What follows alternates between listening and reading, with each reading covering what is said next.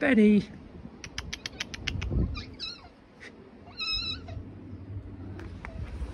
Good morning.